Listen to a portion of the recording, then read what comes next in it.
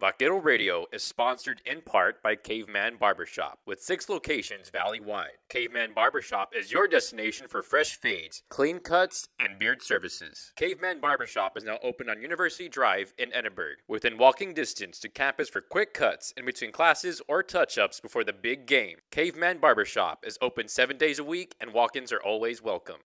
Vaquero Radio is sponsored in part by the Center for Student Involvement Vaqueros Vote at UTRGV. Students, Election Day is November 7th. You will have the chance to vote for the special constitutional amendments and local races. The websites for Hidalgo and Cameron counties can assist in finding your polling location. To find their polling location and sample ballot, Hidalgo County voters may visit hidalgocounty.us. Cameron County voters may visit cameroncountytx.gov. Voters not residing in Hidalgo or Cameron counties can search their respective counties' websites for polling information. It's not just one vote, it's your vote. Good morning, vaqueros! Today is Monday, November 6th, and it is currently 66 degrees outside. We're coming to you live from our Edinburg studio. I am Fernanda Gonzalez. And I'm Timothy Chapman. And, this, is Vaquero News. You're listening to Vaquero Radio, the Valley Student Station. According to the UTRGV Police Department, many students do not know about an app that has many features for safety and information. What is this app and what are the features it provides? Here's Timothy Chapman with the details. Campus Shield is a mobile application students can download in order to have a quicker access to university police for features such as an emergency button, anonymous reports, campus resources, and other services. Community Engagement Officer Marco Huerta said the app is available on Android and iOS. It is completely free, and to sign up, students just need to register with their name, UTRGV email, and phone number. He said one of the most used features on both campuses is the Safe Walk option, which is commonly used by students when they feel uncomfortable or unsafe walking across campus by themselves. They can press safe walk and call us, and we'll send a police officer or a public safety officer to get them to their location where safely, wherever they need to go, whether it's their vehicle, their dorm, or just to get to another building that they may need assistance with. In the event there are not enough officers available at any given moment, Huerta advises students to wait in a safe, well lit area until an officer arrives to assist them. According to Huerta, the app not only works on university grounds. He said a staff member's child once accidentally pressed the emergency button on the app, and within minutes, local police were at her doorstep. If you are in an emergency situation and you need to get a hold of police, let's say you're somewhere else, not on campus, you can still do the emergency number and it's going to go whatever city you're in. They'll go directly to their 911 dispatch. Assistant Chief of Police Vance Slusser said the university police tracks the number of users on the app each month. Slusser said the number is low compared to the total number of students. I think we're somewhere in the neighborhood of 2,000 users right now, two or 3,000, and that's an extremely small percentage of the student population when you consider that we're in the neighborhood of 32,000 total students. Slusser said the app features may be helpful to students. There's ways that they can report crimes anonymously or text us information, send us pictures. They can monitor locations of buses as they go around the campus and they're waiting on them. For more information about the Campus Shield app, visit utrgv.edu forward slash Campus Shield. This is Timothy Chapman for Vaquero Radio. For more than 3,000 years, celebrating the ties with those who have died has been a Mexican tradition. Here is Fernanda Gonzalez with more. With more than 150 generations commemorating El Día de los Muertos, the Center for Mexican American Studies joined in the celebration by placing an altar in the Edinburg campus library. A Mexican American Studies club, Lucha, which stands for La Unión Chicana Hijos de Aztlán, was in charge of organizing the altar. Interdisciplinary Studies graduate student and secretary of Lucha, Kimberly Grimaldo, elaborated on the meaning behind the name of the organization. Did after you know lucha after the movement that we're striving to help and preserve and voice our experiences, and as most of our community here is Mexican Mexican American descent, so we're trying to bring a lot of our culture, our history to events like this, and so English graduate student and treasurer of Lucha, Gaby Casas, explained how the student body was included in this event. We had um, several classes, right, um, that they made their own little altars and they were able to go and put them up in displays. And then also because, again, it's part of the culture, especially living so close to the border, things like that. So it was feel that it was something that should have been like um, celebrated, acknowledged. Grimaldo spoke about the process of creating the altar and how planning began in early September. And so one of the first things we did was actually making cempasúchil flowers out of tissue paper. And so we had one meeting where we all got together, we learned how to make them, and so we also started wrapping boxes in wrapping paper. And we just started adding little things by like that. And when it came to putting the altar together, we went to the library and we set it up. Interdisciplinary Studies graduate student, poet, and member of Lucha, Rolando Serna, explained the celebration of Dia de los Muertos in a poem he wrote. We celebrate our ancestors and we acknowledge them. We celebrate the dead so that the living can continue the journey they started. We recognize that without their struggles, we would not be here, and for that we thank them. This is Fernanda Gonzalez for Vaquero Radio.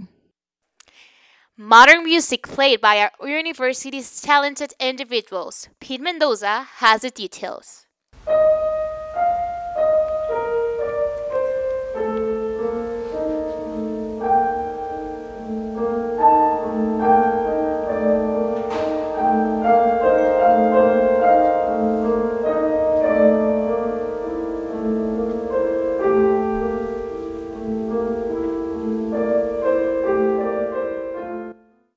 With beautiful compositions, a large repertoire, and months of preparations, the UTRGV School of Music hosted the annual Piano Area Recital on October 29th at the TSC Performing Arts Center in Brownsville.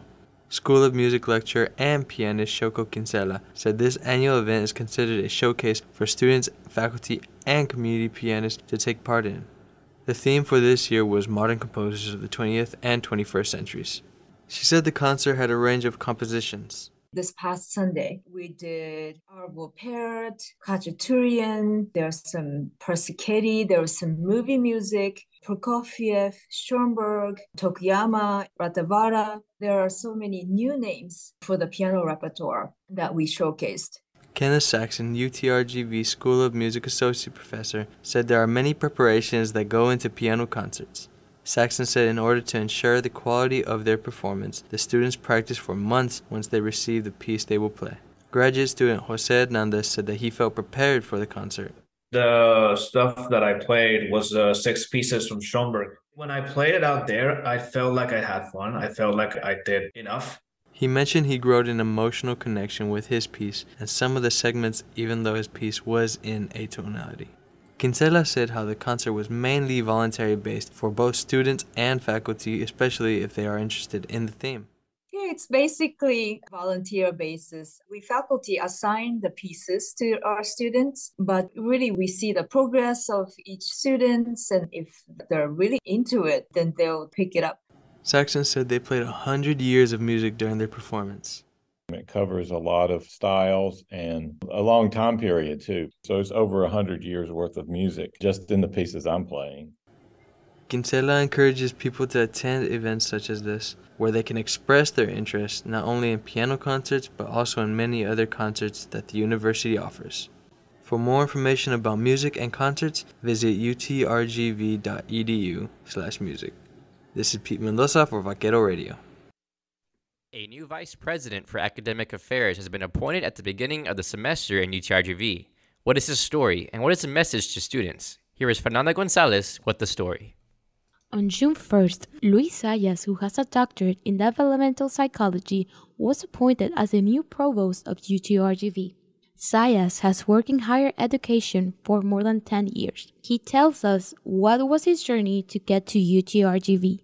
Originally from Coamo, Puerto Rico, Zayas' father was in the military. He recalls regularly moving between states and even countries until his globe-trotting days came to an end when he began his studies in economics at Manhattan College in New York City.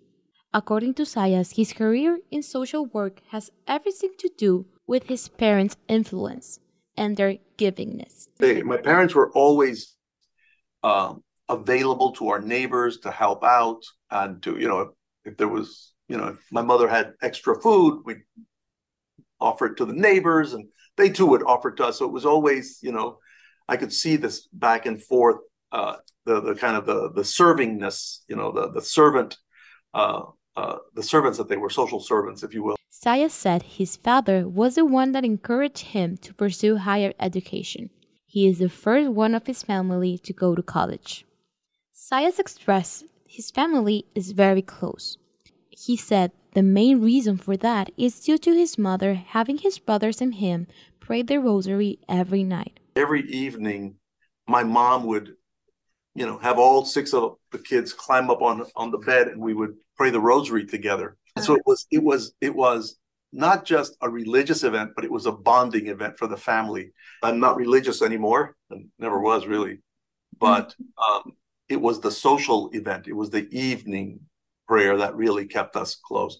He identifies himself as a very quiet and shy person. He is a good listener. I don't think others see that. Very, I've worked very hard to make sure that um, you know I, I engage socially and professionally, mm-hmm. but I think at, at the you know, at the core, I'm I'm a pretty much a re- person who prefers to be you know by himself with himself. I'm a good listener. He said his listening helped him in his job as the dean at Steve Hicks School of Social Work at the University of Texas at Austin. Instead of spending all my time pitching the school, I spent more time asking them about themselves. And in building those relationships, you know, oftentimes they became donors and generous ones at that. Sharon Brennan is the Director of Faculty Affairs at the Steve Hicks School of Social Work at UT Austin. She was Dr. Zayas's assistant and recalls her experiences working with him. He's awesome. Very like just laid back, easygoing, funny. like we like had our own meetings just with each other, we get like once we came back to the office, you know, we have one-on-ones just to go over the day and everything. And we would be cracking up. Ruben Parra Cardona is a professor and the dean of global engagement at the Steve Hicks School of Social Work at UT Austin. He spoke about Dr. Zayas's attitude and way of thinking. Oh, he's extraordinary. You know, he's brilliant. So that's the first thing. Like you, you say, "Oh my gosh, this guy is thinking at three thousand miles per hour." Right? He's a risk taker and he's out of the box, an out of the box thinker. And the way he implemented his scholarship, the way he designed, implemented, and disseminated his scholarship tells you about the leadership he has. During his time at UT Austin, Zayas learned the importance of public higher education in America. He expressed pride in his overseeing of the diversification of the graduate programs while at UT Austin. The School of Social Work illustrated diversity not only in racial and ethnicities, but geographically as well.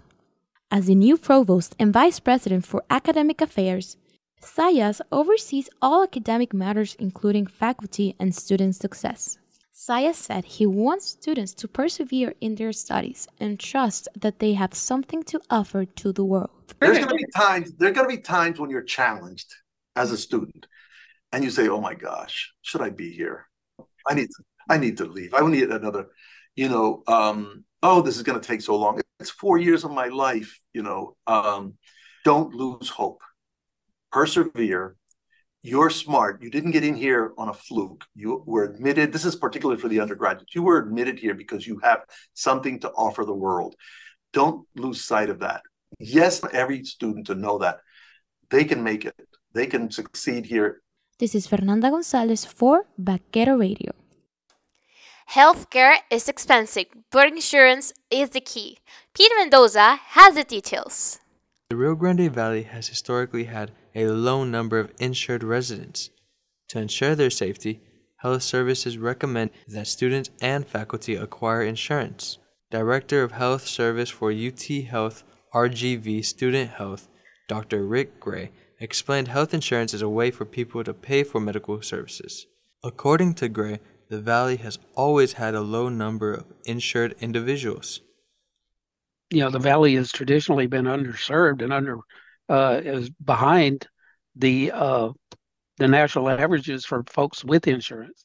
Gray mentioned there are many reasons why people do not have health insurance. It could be people's socioeconomic status, not being able to afford insurance, and limited funding for state and federal programs. Student marketing advisor for UT Health, RGV Student Health, Angelica Velasquez, says she has multiple experiences with people that are uninsured.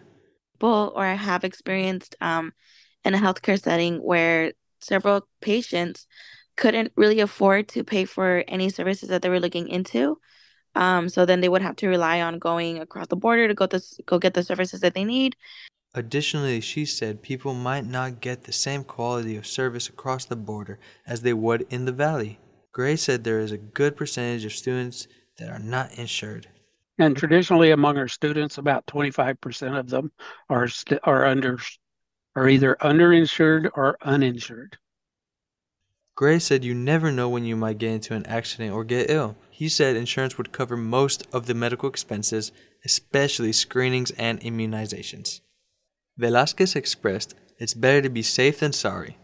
She gave a scenario where someone who doesn't have insurance refuses to get checked up, which leads them to getting hospitalized and having to pay thousands of dollars instead of just paying for a pill for treatment for $50.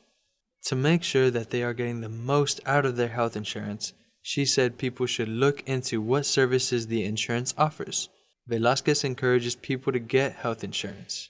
I would encourage people to get health insurance or to even seek health services just for preventive measures. Um, just because Correct. things can get worse, things can get more expensive. Taking advantage of your health insurance can definitely help with pre- preventing even more catastrophic effects. For more information about health insurance, visit utrgv.edu slash health services. This is Pete Mendoza for Vaquero Radio. And McLean goes up and throws down a monster dunk. That fires up the UTRGV Fieldhouse. And Now time for Vaquero Sports. An outstanding volleyball player tells us her origins and inspiration. Here is Kevin Alaman with more.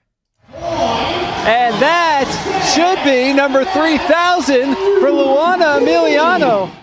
From humbling roots in Belo Horizonte to planning her legacy in Edinburg with the Vaqueros, junior setter Luana Emiliano is a dominant player on the court. She is on her third season with the UTRGV volleyball team. She started her volleyball journey when she was 10 years old in Belo Horizonte, Minas Gerais, Brazil. Before coming to UTRGV, Emiliano played professional volleyball for two years in her hometown. In 2021, she made the decision to transfer to UTRGV to focus on her academics and volleyball play. During this season, Emiliano broke her record of 3,000 assists, 1,000 digs, and was named Setter of the Week multiple times by the Western Athletic Conference. Emiliano talked about the fuel and motivation to earn those records. I don't earn those things by myself. I don't come and play by myself. And of course, I see myself work hard every day to get those things. My motivation is playing and doing good for my team. Head coach Todd Lowery has the watch her play, privilege of coaching her physical Emiliano. gifts, Lowery like, talked about how balls. he is able to put his trust in her on the the court. You watch her play, and obviously thing that her physical me to have a gifts, like she doesn't mishandle balls. she She can can be be falling falling down down and she still set balls plays to the the outside. game But I think the the big thing that allows me to have a lot of trust in her is just how she sees the overall game. She plays the game to win.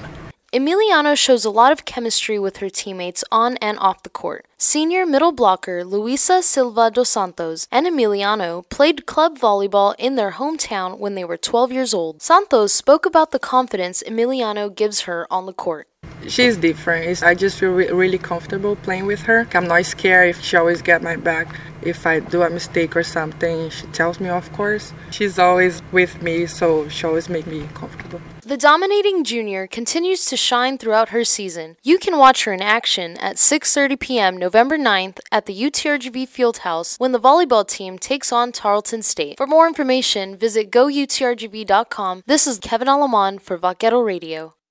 Hello, Vaqueros. I'm Jan Trejo, and this is the sports schedule of the week. At 6:30 p.m., the UTRGV men's basketball team will go against Southwestern Adventist University in Edinburg, Texas, at the Fieldhouse. And on Tuesday, November 7th at 6:30 p.m., the UTRGV women's basketball team will go against Texas Tech at Lubbock, Texas. And on Thursday, November 9th at 6:30 p.m., the UTRGV volleyball team will go against Tarleton State on Edinburg, Texas at the Fieldhouse. I'm Jan Trejo, and this has been your sports schedule of the week. And now for this week's events calendar. Ok, Vaqueros, this is Ruben Cintora, and these are the events for the week. Meet the Dean. Come out and have the opportunity to talk face to face with your academic college or school dean and ask them questions about different opportunities you have in your field. From 12:30 to 1:30 p.m. on Monday, November 6 at the Edinburg Ballroom. The Korean International Student Society will be selling all types of ramen, Asian snacks, stickers, and shoe charms. Come on by and get some snacks from 3:30 p.m. to 5:15 p.m. on Monday, November 6. From 3:30 p.m. to 5:15 p.m. on Monday, November 6 at the library. The Baptist Student Ministry in Brownsville will be having a free iced coffee afternoon from 11:15 a.m. to 1:50 p.m. Come on out and get some free iced coffee. Located at the Calvary Lawn East. And now for this week's campus weather report. Good morning, vaqueros. This is Joseph Zambrano with this week's Valley Weather Report. After getting a glimpse of fall weather from the recent cold front, we're returning to our regularly scheduled Texas weather, with highs in the 90s and lows in the 70s. Friday's our main outlier, as on that day we'll see a high of 80 and a low of 60, hopefully signaling some cooler weather in the coming weeks. We'll be seeing some partly cloudy skies for the first half of the week, interrupted by thunderstorms on Thursday and some more showers on Friday. Expect some higher levels of humidity to accompany those storms. I'm Joseph Zambrano, and this has been this week's Valley Weather Report. And that is the newscast for this week. Don't forget to check out our new column, A Night of Rain and Rhythms, Alejandro Sanz at Bert Ogden Arena by Ruben Cintura. You can also read our news story.